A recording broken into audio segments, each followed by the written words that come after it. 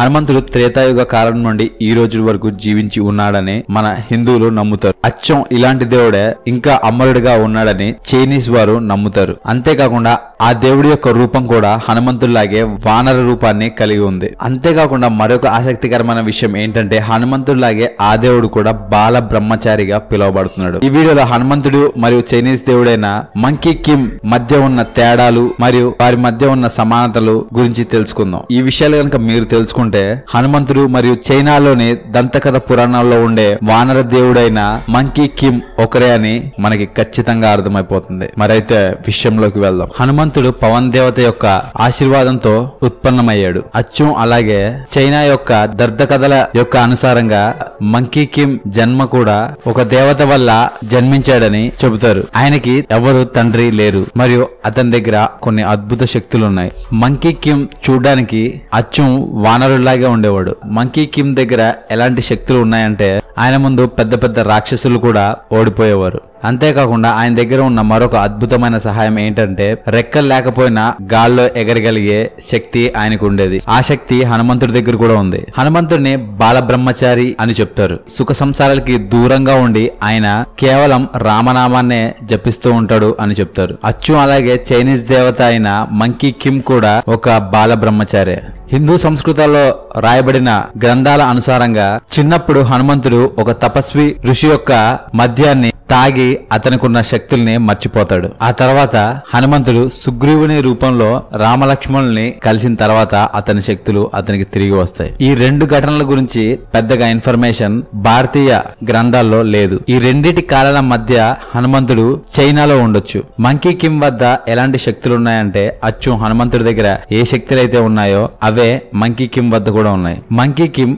అప్పుడప్పుడు తన రూపాన్ని మార్చుకొని వేరే ఇతర ఎవరి రూపంలోకైనా మారగలడు. ఒకవేళ రామాయణంలో చూసుకున్నట్లయితే హనుమంతుడు కూడా కొన్ని కొన్ని సార్లు తన రూపాన్ని మార్చుకొని వేరే వేరే రూపాల్లోకి మారిపోయాడు. కేసరి హనుమంతుడి యొక్క తండ్రి. ఆయన హిమాలయాల్లో నివసించేవాడు. అంతేకాకుండా ఆయన హిమాలయాల యొక్క రాజుగా కూడా ఉండేవాడు. అంటే హనుమంతుడికి హిమాలయస్తో లోతైన సంబంధం కలిగిన వాడుగా ఉన్నాడు. హిమాలయ పర్వతాల నుండి పైన ఉన్నదే చైనా. ఆ చైనా గ్రంథాల్లో ఒక మంకీ దేవుడి గురించి వర్ణింపబడింది. ఆయన యొక్క శక్తి సామర్థ్యాలు హనుమంతుడితో మ్యాచ్ అవుతున్నాయి. అంతేకాకుండా కొందరైతే హిమాలయాల రాజైన కేసరి కొడుకైన హనుమంతుడే ఈ చైనా దేశంలో మంకీ కిమ్ అని వారు నమ్ముతారు. చైనా మత గ్రంథాల్లో మంకీ కిమ్ కేవలం ఒకే ఒక ఆయుధంతో ఫైట్ చేసేవాడు. అది మెటల్తో తయారు చేసిన ఒక లాఠీలా ఉంటుంది. అది తప్ప వేరే ఏ ఆయుధాన్ని మంకీ కిమ్ ఉపయోగించలేదు. అచ్చం అలాగే హనుమంతుడు కూడా కేవలం గదని తప్పించి ఇంకా ఏ ఆయుధాన్ని ఉపయోగించలేదు. మీరు మొత్తం రామాయణాన్ని వెతికినా గానీ హనుమంతుడు గదతో తప్పించి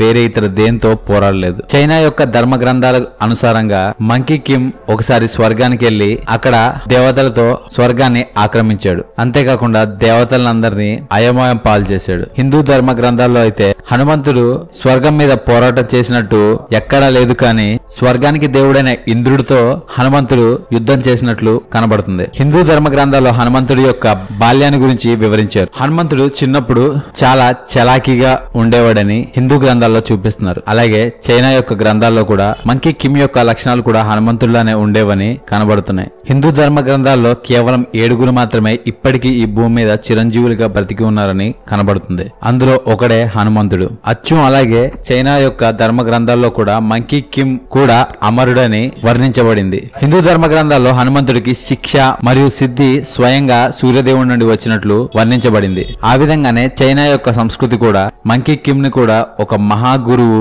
తనతో పాటు తీసుకెళ్ళిపోయి అతనే మంకీ కిమ్కి శాస్త్రాలు మరియు యుద్ధ కళల గురించి శిక్షణ ఇచ్చి మహా యోధుడిని చేసినట్లు కనబడుతుంది. ఇప్పుడు మనకు వచ్చే డౌట్ ఏంటంటే రెండు వివిధమైన దేశాల్లో రెండు వేరే వేరే దేవుళ్ళకి ఒకే విధం లాంటి సమానత ఎలా వచ్చింది? హనుమంతుడు శివుడి యొక్క అంశావతారం అని భావిస్తారు. మరియు శివుడి యొక్క నివాస స్థలము కైలాస పర్వతం అని చెప్పబడింది. అయితే మంకీ కిమ్ హనుమంతుడు ఒకరైనా ఒకవేళ వీరిద్దరు వేరే వేరే అయ్యుంటే చైనా సంస్కృతిలో ఈయనకు ఉండే క్వాలిటీస్ మరియు ఈయన పుట్టిన స్థలం ఈయన యొక్క తండ్రి గురించి ఒకేలా ఎందుకు ఉంది? ఒకవేళ మీకు వీరిద్దరు ఒకరు కాదు అనిపిస్తే మరి మంకీ కిమ్ యొక్క వర్ణన హనుమంతుడి వలె ఎందుకు ఉంది? బాగా ఆలోచించండి. ఈ వీడియో కనుక మీకు నచ్చినట్లయితే లైక్ చేయండి షేర్ చేయండి. చైనా సంస్కృతిలో మంకీ కిమ్ను హనుమంతునితో ఎందుకు పోల్చారో అని మీకు అనిపిస్తే దాన్ని కమెంట్ రూపంలో పెట్టండి. Thank you for watching